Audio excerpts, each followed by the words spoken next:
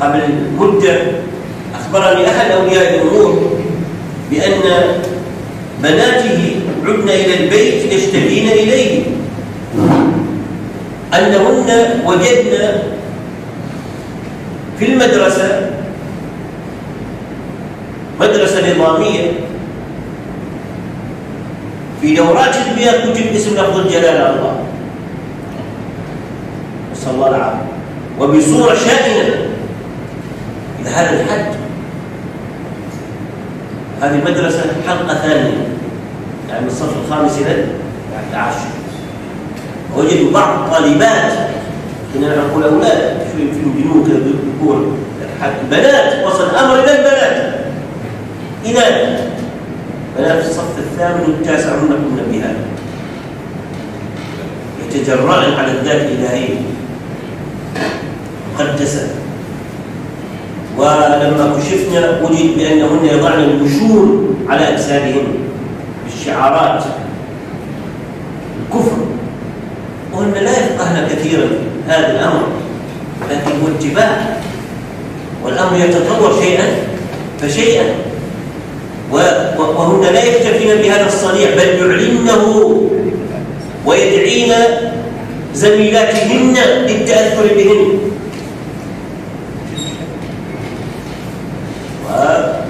تكون أعمارهن أربعة أربعة عشرة سنة بالغات أو ثلاثة عشرة سنة.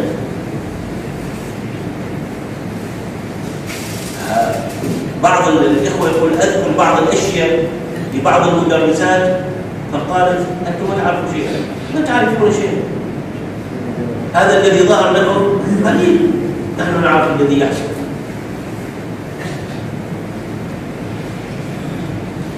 دعنا ما يحدث في مدارس الطلاب أيضا. أمر فعلا وصل إلى حد خطير. مجال الإلحاد تعرفون ماذا يكتبون الآن. وفي مجال ما يعرف بالنسوية والعياذ بالله هذه الأفكار الزائغة في الدعوة إلى التبرج وإلى الفجور وإلى الحرية المطلقة. بل الدعوة إلى الشذوذ الجنسي؟ وتمجيد ما يسمونه بالمثليين والعياذ بالله. ماذا ننتظر أكثر من هذا حتى نتحرك.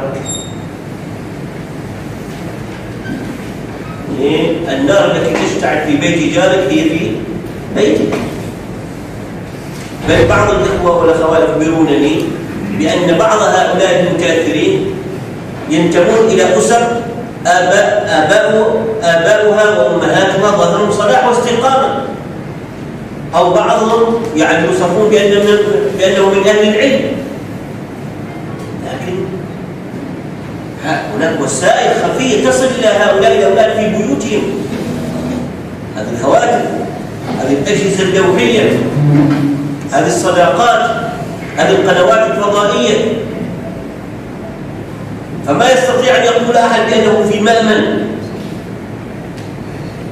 ربما لو عاد إلى بيته اليوم وسأل أولاده سيكتشف العجب وإن كان بعضهم لا يظهر بل انتشر ترك الصلاة. ترك الصلاة وهي ركن من أركان الإسلام. كم من المدرسين والمدرسات أخبروني بهذا؟ لطلبة يعدون بالغين. فإن لم تقم بهذا الواجب والجهد الآن فإذا متى سنقوم به؟ أو ماذا ننتظر؟ أو أن أحدنا يتصور أنه قد ضمن دخول الجنة فلا يحتاج إلى مزيد من العمل. فإذا النصيحة أن نهب هبة قوية. نشحذ الهمم والعزائم وندخل الميدان بكل ما نستطيع. المسألة كما يقال حياة أو موت إيمان أو كفر. فلا زال الأمر في بدايته.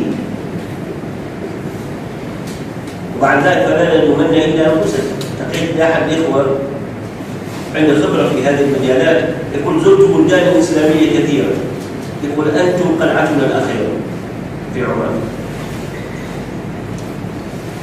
يقول نعتبركم القلعة الأخيرة يقول أنا أعرف ما الذي يجري في كثير من هذه الدول وزرتها خلاص طاحت يقول أنتم البقية الباقية إن تمسكتم عسى أن تكتب بهذه الأمة النجاة. بثباتكم فيمتد هذا الخير. إن لم تثبتوا إذا على هذه الأمة السلام نسأل الله العافية.